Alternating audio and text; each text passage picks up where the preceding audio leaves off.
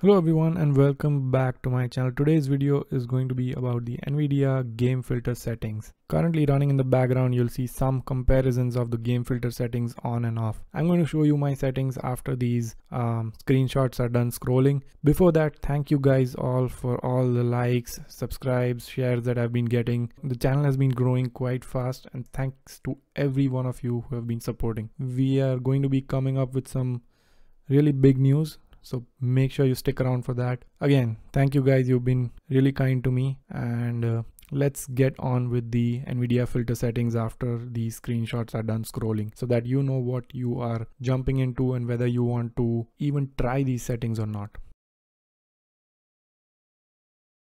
So to bring up the nvidia overlay you press alt z and then click on the game filter button here. And here are my settings. These are the only two things that I'm changing and as you can see it makes a world of difference in the way my sim looks. Now you can either copy these settings as it is like I'm showing here or there are high chances that you will have to edit these settings a little bit from what I'm showing here based on your liking and your base monitor settings to make it look exactly like what you're seeing on YouTube in this video.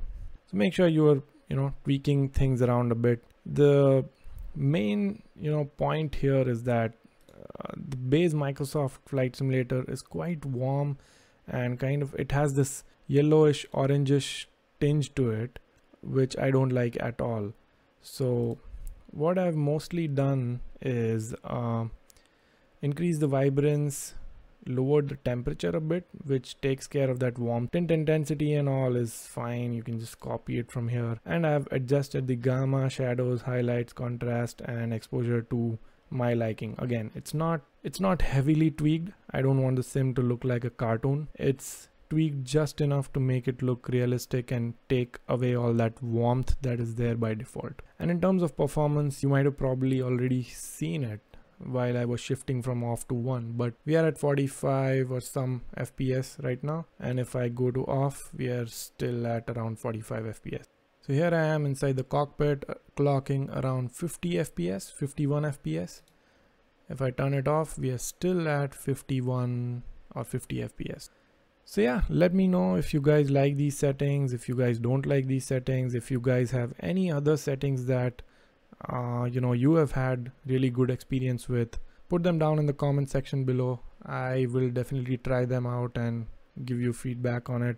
So that is it for this video. Thank you guys for watching. Thank you for all the recent likes subscribes everything. Thank you for all the support. Like i said something really big is coming. So please please make sure you stick around on this channel and make sure you hit that subscribe button. Okay i will see you on the next video